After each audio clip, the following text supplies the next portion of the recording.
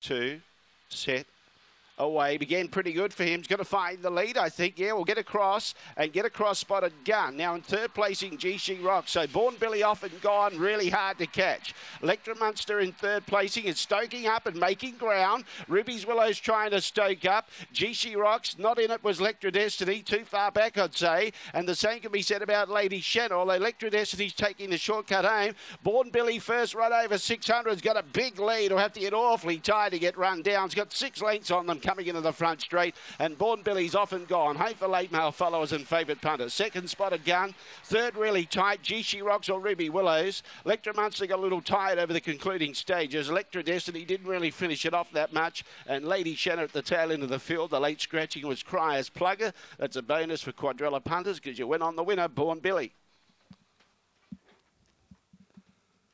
210 and 140 for Born Billy. Good solid performance. Jumped well. That was a good jump by Born Billy today. And he jumped out fair last start uh, interstate at Sandown.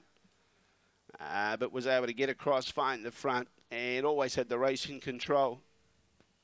Late mail salutes, favourite salutes. And 9.14 and 22.10 were the early splits.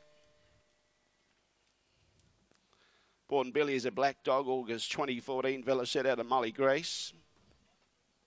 Raced by Noel Muggervan and Peter Byrne, the winning trainer. Run home was 13.54, 13.54. And a solid 35.64 for its first uh, look at 600. So that's a, a solid performance indeed.